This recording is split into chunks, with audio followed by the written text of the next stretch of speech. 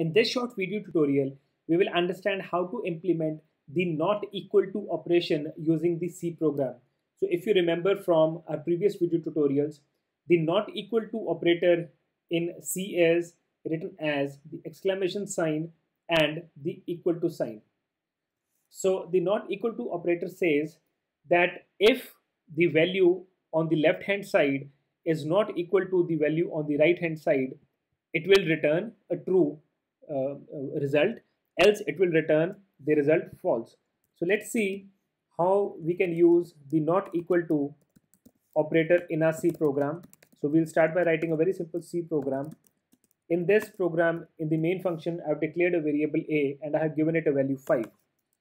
Now in the if statement, we are writing the condition if a is not equal to 5 then print a else?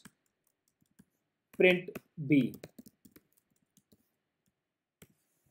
Now as you can notice the value of a in our program is 5 therefore the condition a is not equal to 5 should return a false. It means that the code inside the else statement or the else brackets will run.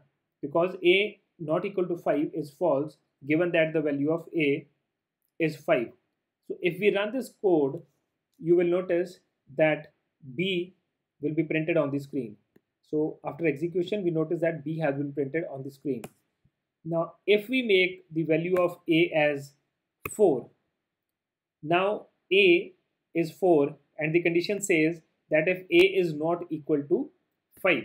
So in this case, when we have made the value of a as 4, the condition a is not equal to 5 should return a value true and the code inside the if statement should execute. So if we run this program, you will notice that the result of this program is a printed on the screen, which means that this, this condition returned a true value. Therefore, this code was executed. So by making use of the exclamation and equal to sign, you can implement the not equal to operations in your C program. With this, we will end our short tutorial here. To access our complete C programming course, please visit openeschool.com slash learn C.